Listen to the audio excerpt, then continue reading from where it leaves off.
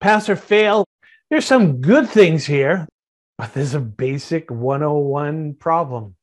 Alec Nicodinovic.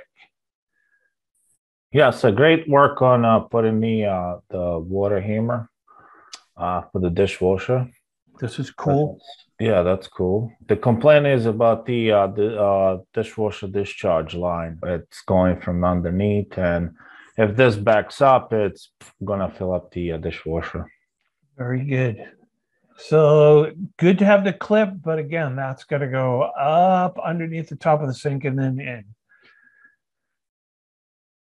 Perfect. And that was the primary thing that was wrong. Fail, see you later. Water hammer arrestor, pressure absorbing device was good.